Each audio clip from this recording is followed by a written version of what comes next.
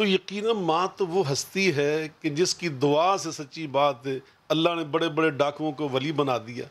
मैं समझ तो इस माँ ने शायद हाथ उठा के बददुआ ना की हो। लेकिन मेरे बुज़ुर्ग फरमाया करते थे माँ बाप के दिल की कैफियत को अल्लाह कभी दुआ शुमार करता है कभी बददुआ शुमार करता है। जब उसने थप्पड़ मार कर अपनी माँ को ज़मीन पे गिराया था ना उस माँ के दिल की जो कैफियत थी मैं समझ तो ऐसी बददुआ हुई है ये उसकी नहूसत कि आज पूरी दुनिया में ये बदनाम हुए। रसवा हुए ये कालक सारी ज़िंदगी स्याही इनके चेहरों से अब नहीं उतर सकती। जे जो मर्ज़ी ये कर ले जो मर्ज़ी अच्छा चेहरा जाके इन्होंने अदालत में छुपाना है। जी अब इनको यकीन होता अगर अल्लाह की अदालत का अल्लाह तो चेहरा ना छुपाते। आप बड़ी खूबसूरत बात कह रहे हैं कि देखिए अल्लाह वाले जो होते हैं ना वो उनका ये अंदाज ही नहीं होता। या, या अलहाक मुतकासुर ये पैसे की खातर। तुम गाफिल हो गए अपनी माँ के हकूक से अपनी बहन के हकूक से। वरासत के जो हकाम अभी सूरा निसा की आपने बड़ी खूबसूरत बात की बिलाल भाई।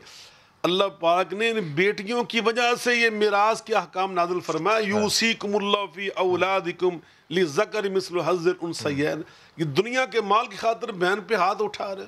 इस दुनिया के माल खातर माँ को तुमने धक्के दिए माँ को तुमने बुरा कहा। डॉक्टर साहब मैं इस सारी बात को ना एक और तरह से तजिया करता ज़रूर अगर वो रिपोर्टर बीच में ये ना कहता कि इनका एक भाई जो है वो भी इसी माँ का जना हुआ। वो बाहर के मुल्क में है। वो बहन का साथ दे रहा है। वो जो गैर मुसलमान मुल्क में है, उसका खलाक इतना तरबियत याफ्ता हो गया कि वो सूरह निसा को फॉलो कर रहा है, वहाँ बैठा हुआ। ये मैं अपने दिल से बात कह रहा हूँ। लेकिन यहाँ पे जो जुमा पढ़ने वाले, नमाज़ पढ़ने वाले लोग हैं और जो बाशरा लोग हैं, वो ये हरकतें जब करते हैं ना तो हजूर अकदस फिर सिर्फ़ एक फ़र्द और एक बेटा नहीं, जलील होता।